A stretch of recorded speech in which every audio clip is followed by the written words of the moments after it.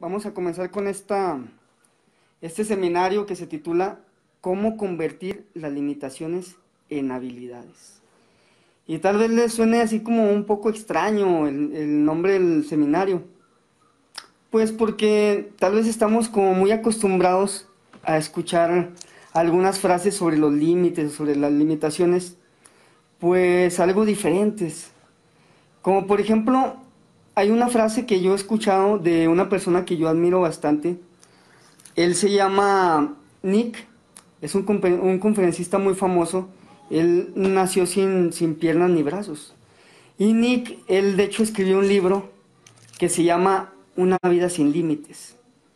Entonces esta es una de las frases que hacen mucho eco.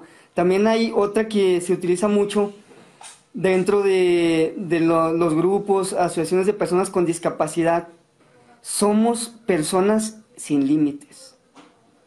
Y por último, mi favorita, los límites no existen.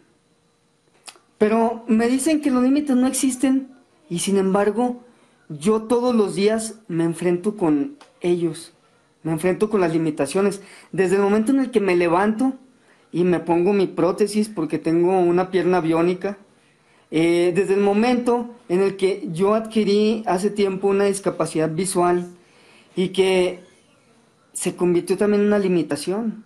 Y que cada vez que me conozco más, me doy cuenta de que tengo limitaciones emocionales, limitaciones espirituales, limitaciones de educación, limitaciones intelectuales.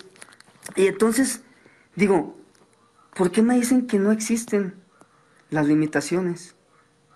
Veo a mi alrededor, eh, veo eh, que hay muchísima gente que vive en la pobreza, en la pobreza extrema, en, el analfabetismo, y me dicen que los límites no existen. Sin embargo, yo pienso que más bien aquí eh, es que sí todos tenemos limitaciones. Sin embargo, el detalle es qué estamos haciendo con estas limitaciones, ¿sí? Si las limitaciones nos están limitando o nos potencian. Si tus limitaciones te avergüenzas de ellas, las ocultas, las quieres eliminar o las abrazas, las quieres y las utilizas como herramientas para conseguir tus metas. Y yo pienso que aquí es, es como, como lo importante, ¿no? Es donde, donde, donde empieza lo bueno y es, y es el mensaje que yo te quiero dar, que no hay nada bueno o malo realmente, sino que todo, todo depende del cristal con que lo veas. Todo depende del enfoque que tú le estás dando. Depende de la actitud. En pocas palabras, es una, una sola palabra, actitud.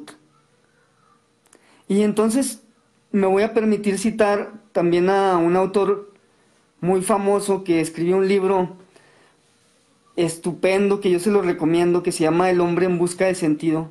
Y este autor es el doctor Víctor Frank.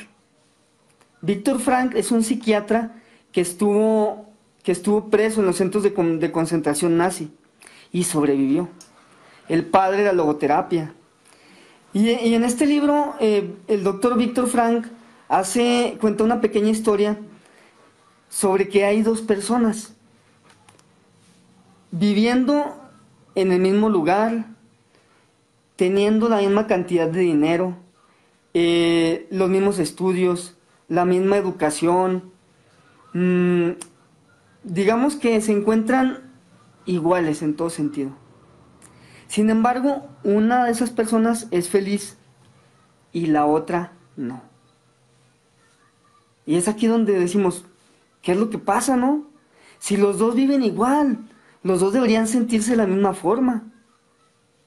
Y es entonces cuando a veces nos preguntamos, ¿por qué dos personas que tuvieron la misma educación, inclusive en una, misma familia, en una misma familia, los hermanos, ¿por qué si tuvieron la misma educación, los mismos padres, los mismos principios, etcétera? ¿Por qué uno de ellos es exitoso? ¿Y por qué el otro es todo lo contrario? Cayó en las drogas, eh, fracaso tras fracaso, etcétera. ¿Qué es lo que sucede aquí, no? Y es lo que te digo, o sea, es la cuestión de la actitud. Y yo recuerdo, por ejemplo, cuando, cuando adquirí la discapacidad visual, esa limitación, hace seis años yo sufrí un accidente que dio un giro de 180 grados en mi vida, pierdo la vista y entonces sí hubo un momento en el que me sentí deprimido, me sentí angustiado, porque no sabía qué era lo que iba a pasar. Sin embargo, yo siempre he tenido como, como una frase que me ha ayudado a romper así la pauta, a romper la pauta, a salir de esos momentos, eh, situaciones difíciles. Y siempre me digo a mí mismo, cuando me siento de esa manera, digo, a ver Franco, o te aclimatas o te aclichingas. Y eso me ayuda, ¿no? Me ayuda, me ayuda a despertar. Y en esa ocasión así lo hice. Y entonces empecé a escribir una lista, una lista de las cosas positivas que se me ocurrían de estar viviendo esta nueva situación, de perder la vista. Y entonces empiezo, ¿no? Eh, y escribía todo lo que se me ocurría. Eh, hasta cosas que se me hacían ridículas, las escribía de todos modos. Entonces empecé a escribir y, y fueron cosas así como, como por ejemplo, bueno, Ahora ya me voy a fijar en los sentimientos de las muchachas, no en que si están guapas, ¿verdad? No en su cuerpo, por ejemplo. Otra cosa que escribí así de que, pues ahora ya no le tengo que ver la cara, la jeta a la gente que cuando anda enojada, o que, me ande haciendo sus caras, ya no se las voy a ver. Eh, escribí, por ejemplo, que ya iba, iba a tener algunas, algunos descuentos en el transporte o en algunos lugares donde iba, iba a tener lugares preferenciales, pues en algunos conciertos y así, ¿no? O sea, empecé a escribir todo lo positivo. Yo digo, bueno, pues soy amante de la música, ahora que ya no veo, pues voy a empezar a afinar mi oído, voy a desarrollar mi sentido, más mi sentido musical. Y así fui haciendo mi lista. Pude haber hecho también otra de cosas negativas sin embargo, no lo consideré pertinente. Y cada vez que se me pasaba por la mente algo negativo, un pensamiento negativo, lo sustituía con algo de mi lista positiva. Y esto me ayudó mucho a tener así como una base fuerte, una base fuerte sobre, sobre la cual caminar, sobre la cual sostenerme y empezar a impulsarme, ¿no? para convertir esa limitación en una habilidad. Porque después me empecé a relacionar en, asociaciones con discapacidad, empecé a mejorar en lo musical, empecé a crear grupos musicales. Y ya cuando acordé, ya no me enfocaba en lo negativo. Esa limitación se estaba convirtiendo en una habilidad la gente me, empezaba a decir que eh, era inspiración para muchas personas. Empecé con lo de las conferencias, con charlas motivacionales. Entonces, ahí yo empecé a descubrir, a descubrir eso.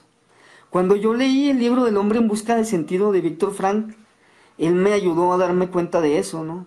De que es muy importante vivir una vida con propósito. Para mejorar no solamente tu vida, sino la vida de muchas personas. Fíjense que hay una persona que yo admiro bastante y me, enseñó también y me, ayudó más a, irme por este lado de convertir limitaciones en habilidades. Él se llama Michael Phelps. Él es un superatleta, eh, ha, roto los, ha roto todos los récords en la disciplina de natación, máximo ganador de medallas olímpicas, sin embargo, él, cuando estaba en la primaria, sufría mucho por el bullying, eh, las burlas de sus compañeros, porque él tiene una complexión física un poco singular. Su tronco, sus brazos son, son más largos de lo normal. Entonces, pues esto le, le atrajo pues las burlas de sus compañeros. A la vez, cuando sucedía eso, los, papás de Michael se estaban divorciando. Y también eh, sucedió que en la escuela sus maestros lo diagnosticaron como síndrome de déficit de atención, que está muy de moda, el DTA famoso. Entonces, todo esto a Michael lo tenía desorientado. Sin embargo, su mamá lo empieza a llevar a clases de natación. Y el entrenador luego, luego le echa el ojo, el ojo biónico. Y dice, hey, él vio lo que todos, inclusive Michael, veían como una limitación, él lo vio como una habilidad. Y dijo, este es mío. Y lo empezó a entrenar. Se dio cuenta, aparte de, su habilidad física, también se dio cuenta de que Michael Phelps tenía la capacidad de obsesionarse. Otra vez, para muchos, ser obsesivo, obsesionarse, puede ser una limitación. Para Michael Phelps y para muchos atletas profesionales es una habilidad. A mí me gustó esa parte de Michael Phelps porque yo también soy obsesivo. Si lo aplicas de forma positiva, si lo utilizas como herramienta, te puede potenciar. Porque ser obsesivo, si te obsesionas por tus metas, por cosas positivas, te puede llevar a conseguirlas, a alcanzar esas metas. Me gusta mucho la historia de Michael Phelps porque él este, tiene mucho que ver con los hábitos, todo lo que él hace. Es un hábito su vida. Nadar todos los días, sus rutinas, la música que escucha, sus entrenamientos, la comida que come, sus ejercicios de entrenamiento, etc. Es un crack de los hábitos. Y fíjense que a raíz de, de mi experiencia, de estar estudiando a personas como Michael, eh, como Tomás Alba Edison, como Benjamin Franklin, y, a todas estas personas de éxito, ¿no? Eh, pude crear una pequeña fórmula sencilla para convertir limitaciones en habilidades. Son tres pasos nada más. Uno, detectar. Dos, admitir. Tres, corregir. Detectar, admitir y convertir, perdón. corregir no, convertir. Entonces, lo explico con un pequeño ejemplo de mi persona. Yo hace dos meses tuve una operación. Me operaron de mi ojo izquierdo, que ya traigo un ojo pues como biónico y es con el que veo pues yo estaba muy emocionado porque ya veía, ¿no? Dije, pues ahora voy a, poder hacer muchas cosas que no hacía antes, voy a poder a lo mejor hacer las cosas ya más rápido, cosas que hacía más lento antes, etcétera. Voy a ver mi mundo, que tenía muchas ganas de ver, etcétera. Sin embargo, yo en ese entonces estaba colaborando en un instituto de desarrollo personal. Yo a este instituto, en primera instancia, entré para tomar unos cursos Luego ya después me gustaron los cursos y como a mí me encantan las ventas, empecé a vender esos cursos. Bueno, eso fue un tiempo, me operan, recupero la vista y luego después el dueño del instituto me empieza a decir, ¿verdad?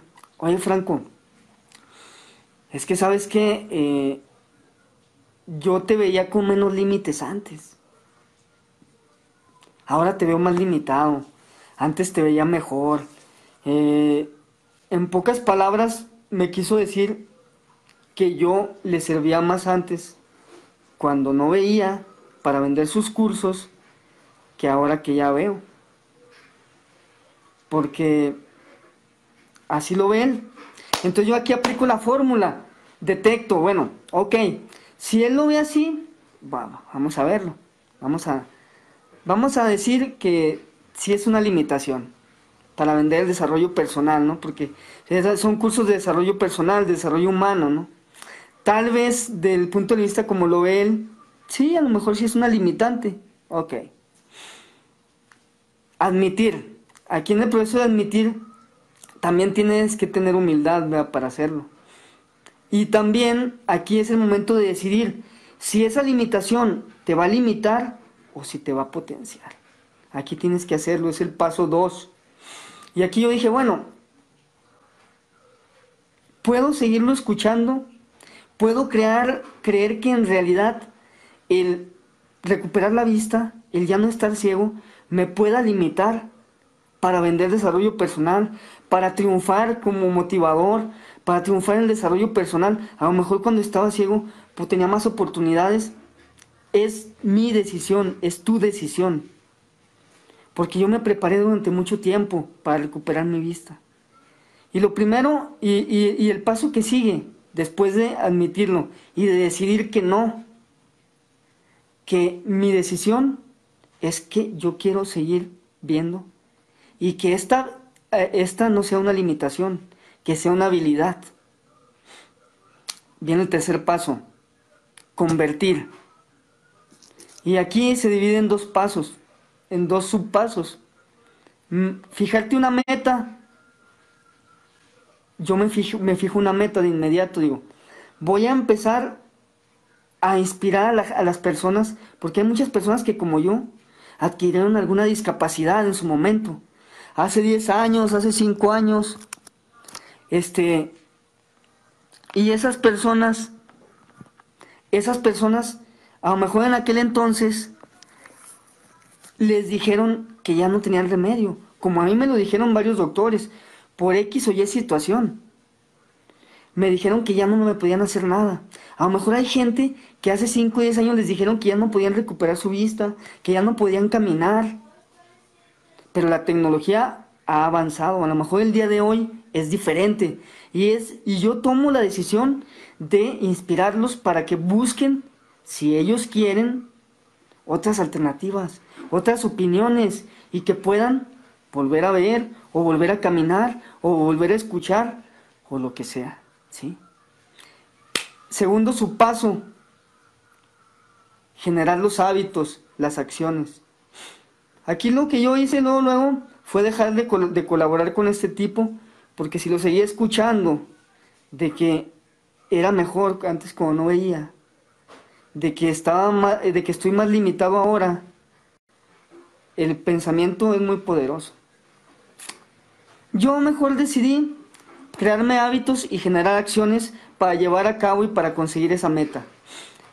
Hacer seminarios como este, buscar conferencias, para poder inspirar a esas personas y poder servir de alguna forma y es el propósito que estoy trabajando detectar, admitir y convertir.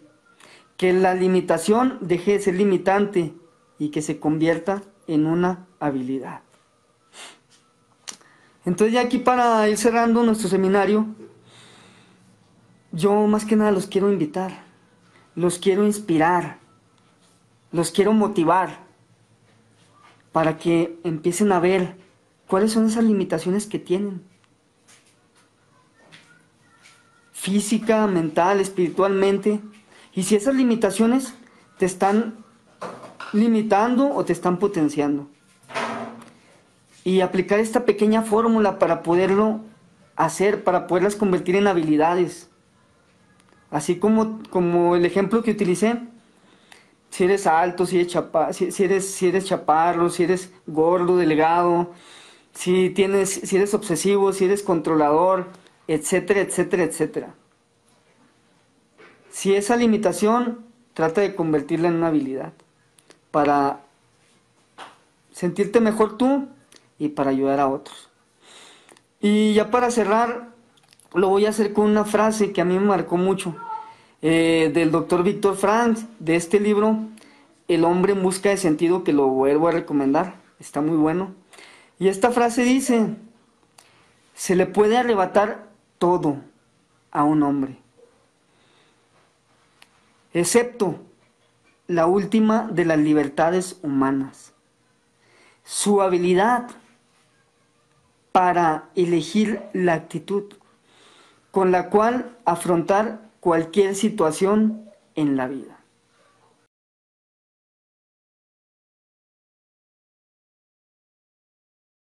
Me quedé, me quedé con esto, ¿no? De, la obsesión que, dijiste.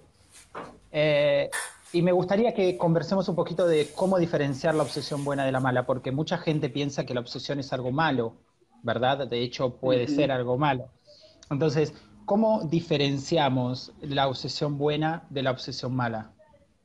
Bueno, pienso que la obsesión mala es cuando te empieza a hacer daño y empieza a hacer daño a otras personas, por ejemplo. Podría ser una obsesión mala eh, cuando te obsesionas por alguna mujer, en el caso de un hombre, que puedes llegar hasta inclusive a agredirla, insultarla, eh, hacerla sentir incómoda. Entonces podría ser un ejemplo de obsesión mala. Sí, eh, yo la verdad que, de hecho recuerdo una vez fui a una conferencia y uno de los oradores dijo, si querés preguntarle algo a alguien, pregúntaselo a un fanático. Porque una persona que está totalmente obsesionada con algo es una muy, fuente, una muy buena fuente de información y seguramente sepa mucho sobre el tema eh, y sepa cada detalle, ¿no? Entonces estuve pensando en esto y me gustaría hacer una pequeña distinción. Una obsesión mala es cuando nosotros tenemos justamente ese tipo de imágenes o conductas que nos dominan. Es un nivel patológico. Ahora, si nosotros no llegamos a ese, a ese nivel, como muchos eh, muchas personas, muchos científicos y muchas personas importantes en la historia de nuestra humanidad seguramente hayan estado obsesionados con algo, con los números, con los astros, con la física, con el dinero o con lo que fuese. En este caso, si sin llegar a un nivel patológico podemos diferenciar cuatro, cuatro ítems que son muy buenos de ser obsesivos. El primero es que nos permite terminar lo que empezamos.